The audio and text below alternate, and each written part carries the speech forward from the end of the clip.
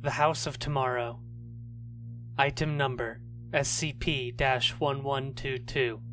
Object Class Euclid. Special Containment Procedures.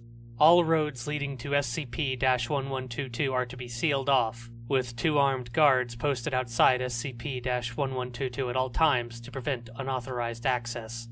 No artificial devices invented after 1940, with the exception of any recording devices, which must be worn discreetly, are to be carried into SCP 1122 without administrator approval.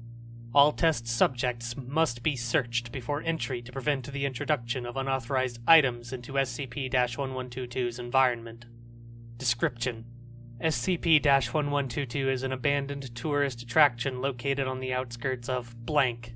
It was originally constructed in 1950 blank as a House of Tomorrow, a demonstration of the then futuristic technologies expected to become commonplace over the following 25 years.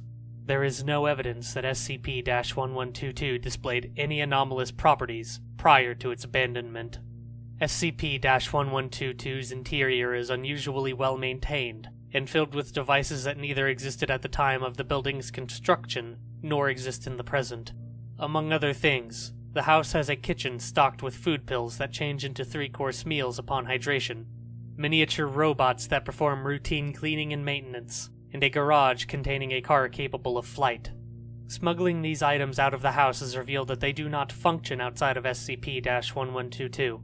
Although SCP 1122's technology is more advanced than modern technology in some respects, it is less advanced in others. There are no miniaturized computers on the premises, and the house's television is of a considerably lower picture quality than its modern counterparts. The house is also populated by a Caucasian family of four, consisting of a man, SCP 1122 1, and a woman, SCP 1122 2, in their mid 30s, an adolescent daughter, SCP 1122 3, and a prepubescent son, SCP 1122 4. Although persons inside SCP 1122 occasionally witness the family members entering and leaving through the house's doors, no inhabitant of SCP 1122 has ever been seen outside of the building. All four residents of SCP 1122 are docile, and, at the time of their original discovery, perpetually cheerful, and are usually willing to answer any questions posed to them.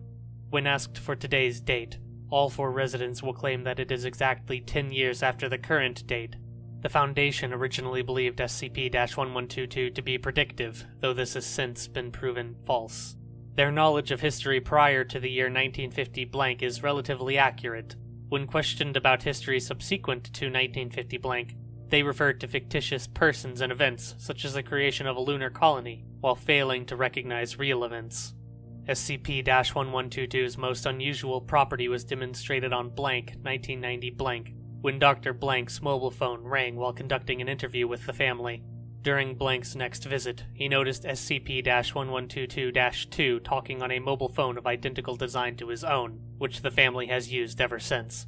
Upon interrogation, SCP 1122 1 denied that the phone was a new addition, claiming that he had always owned it. SCP 1122 3 and SCP 1122 4 then complained to Dr. Blank that their mother was too occupied with talking on the phone to pay attention to them, the first time any residents of SCP 1122 displayed unhappiness. Whenever a device that was not in widespread household use before 1950 blank is seen by the residents of SCP 1122, it will be integrated into the house from that point onward, often replacing an original item.